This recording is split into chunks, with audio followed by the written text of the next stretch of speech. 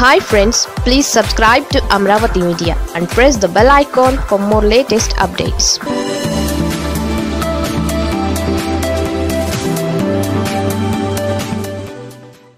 Chandrababu మాట వెనక్కి తీసుకోక తప్పదా?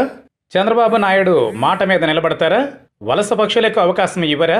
కీలక నేతలు చివరి నిమిషంలో వస్తే చంద్రబాబు పార్టీలో చేర్చుకోరా? అంటే కొందరు అని మరికొందరు ఊహు అని అంటుండడం విశేషం. చంద్రబాబుకు నూట డెబ్బై ఐదు నియోజకవర్గాల్లో నేతలున్నారు. కొందరు పార్టీని వీడి వెళ్ళిపోయినా అక్కడ మరి ఒకరికి అవకాశం ఇచ్చేంత బలమైన నేతలు తెలుగుదేశం పార్టీకి ఉన్నారు కానీ ఎప్పుడైనా రాజకీయాలలో చివరి నిమిషంలోనే చేరికలు వలసలు ఉంటాయి. ఎన్నికల సమయంలో టికెట్ దక్కక కొందరు పార్టీలో ఇమడలేక మరికొందరు పార్టీలు మారుతూ ఉంటారు. వారికి వ్యక్తిగత బలం ఉంటుంది. నియోజకవర్గంలో ఉన్న వ్యక్తిగత కేడర్ ఓటు బ్యాంకు ఉన్న నేతలు అనేక మంది ఉన్నారు. ఉదాహరణకు ధర్మవరంలో వరదాపురం సూరి జమ్మలమడిగలో ఆదినారాయణ రెడ్డి సుజనా చౌదరి సీఎం రమేష్ టీజీ వెంకటేష్ వంటి వారు ఉన్నారు. వీరు కేవలం ఓట్లు మాత్రమే కాకుండా ఆర్థికంగా కూడా బలమైన నేతలు. ఒకవేళ వారు వస్తానంటే చంద్రబాబు కాదంటారా?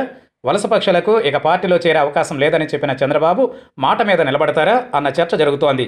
అయితే ఎన్నికలలో గెలవాలంటే మడి కట్టుకుని కూర్చుంటే సరిపోదు. రెండు వేల పంతొమ్మిది ఎన్నికల సమయంలోనూ అనేక మంది టీడీపీ నేతలు వైసీపీలో చేరిపోయారు.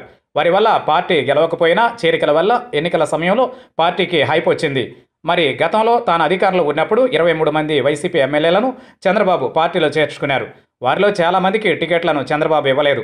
ఇచ్చిన వారిలో ఒక్క గొట్టిపాటి రవికుమార్ మాత్రమే గెలిచారు. అయితే చంద్రబాబు చేసిన స్టేట్మెంట్ పార్టీ కార్యాలయం గడప దాటదు.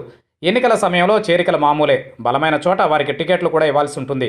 అప్పుడే గెలుపు సాధ్యమవుతుంది. మరి చంద్రబాబు చేసిన ఈ వ్యాఖ్యల వెనుక మరో ఉద్దేశం కూడా లేకపోలేదు.